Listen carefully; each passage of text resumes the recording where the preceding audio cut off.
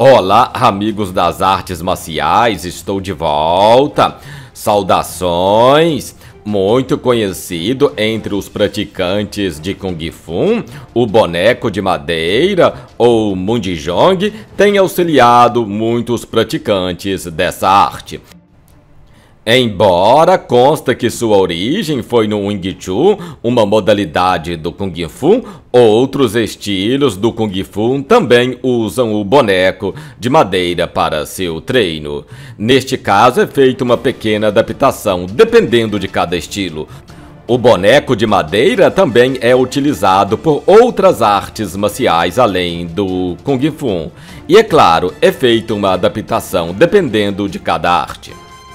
Segundo consta a lenda, por volta do ano 1600, o templo Shaolin tinha um corredor formado por bonecos de madeira, pelo qual os estudantes, ao terminarem seus treinos, eram então obrigados a passarem por um teste final para poder deixar o templo.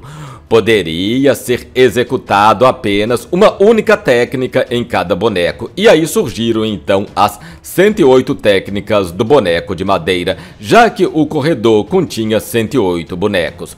Alguns acreditam que os bonecos de madeira seriam os monges mais velhos vestidos por armaduras de madeira, ou então bonecos de madeiras fixos com braços e pernas móveis, que eram manipulados por cordas pelos monges para então executarem movimentos de ataque. No entanto, quando os manchus invadiram o templo e destruíram tudo, esse corredor então de bonecos também foi destruído e sua reconstrução estava fora de questão do governo repressivo. E assim, as 108 técnicas do boneco de madeira passou a ser executada e praticado em apenas um boneco.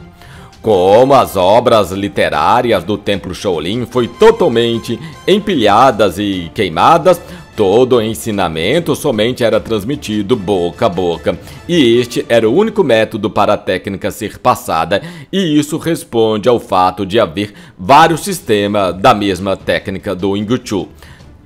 Para a maioria, quando se pensa em Ung Chun, uma modalidade do Kung Fu, a primeira coisa que se vem em mente é o boneco de madeira. Embora muitos estilos de Kung Fu utilizam então bonecos de madeira como parte fundamental de seus sistemas de treinamento, nenhum tem o mesmo formato e estrutura como o do Wing Chun. O boneco de madeira então é construído para simular um homem e é semelhante em peso e altura. Dois braços são fixados na parte superior com um único braço central colocado então no meio do corpo do boneco. Abaixo é fixada uma perna curvada simulando o oponente em uma posição de arqueiro ou em um chute baixo. Atualmente, o boneco de madeira recebe a mesma estrutura ao longo da China e Hong Kong, porém existem muitas variações ao longo do sul-leste da Ásia. O boneco, então, pode ser usado para uma variedade de métodos de treinamento. Treinamentos com boneco de madeira resultam então num forte condicionamento dos braços e pernas. Porém, a função primária é trabalhar os ângulos corretos de ataque e de defesa e a correta movimentação de deslocamento para o sucesso de um combate real. Praticando então constantemente com boneco, melhora então a sua força, percepção angular, posição e perfeição e técnica do praticante. Este é um equipamento de treino do Kung Fu tradicional, muito conhecido devido aos filmes chineses sobre arte marcial. O modelo mais famoso é o boneco do estilo Ung Chu e se chama Mundijong. No estilo Fu existem diferentes modelos de boneco de madeira. O Xing Jong é um dos bonecos de madeira deste estilo de Kung Fu. Uma de suas características é possuir um braço articulado para aplicação das técnicas do estilo, além, é claro, de condicionar os braços e mãos. O treino com boneco busca corrigir e refinar os movimentos. O Mudijong, então, é um boneco de madeira utilizado para treinamento de refinamento das formas das artes marciais chinesas. Este boneco não é para ser utilizado como um saco de pancadas, assim como no box, mas para corrigir e refinar os movimentos aprendidos em formas anteriores. Tradicionalmente feito de madeira, atualmente existem versões feitas em aço ou plástico. Uma curiosidade é que o boneco de madeira do Wing Chun contém praticamente todas as técnicas de mão e de pé e os princípios da luta. Representa então o ponto culminante do conjunto das técnicas de mãos livres. A prática constante desenvolve então a força nos braços, pulsos, pernas e desenvolve o controle da energia e outros atributos do Wing Chun.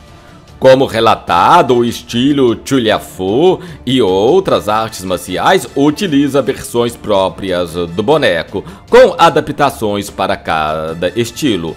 Algumas colocam um saco em determinada posição do boneco para treinar socos. O Mundijong é nada mais nada menos do que um boneco de madeira, cuja função então é o treinamento de algumas artes marciais chinesas, como por exemplo o Wing Chun e outras. Esse instrumento não tem como principal objetivo servir então como saco de pancadas. A função é para corrigir e aprimorar os movimentos que foram aprendidos em uma academia especializada. Com o uso constante do boneco em seus treinamentos, fará com que você desenvolva sua força em todo o braço, principalmente punhos, membros posteriores e com toda certeza o reflexo e sua energia. Antigamente, o aparelho era preso totalmente ao chão, mas Ip Man criou em Hong Kong a versão aprimorada ou melhorada, como preferir, fazendo com que o mesmo tenha a possibilidade de ser fixado a qualquer parede. Ele se torna ideal para pessoas que moram então em apartamentos ou outras casas onde o espaço é muito limitado. Não é possível determinar se a invenção do boneco de madeira é anterior ao Ingchu. Com certeza, antes do Ingchu, muitos treinadores das artes marciais praticavam então socos, chutes em algo parecido com o boneco de madeira. Pode ser que o Wing tenha feito então uma adaptação já que os primeiros fundadores do Wing Chun tiveram que melhorar o manequim e os exercícios ao longo dos anos para chegar à versão atual.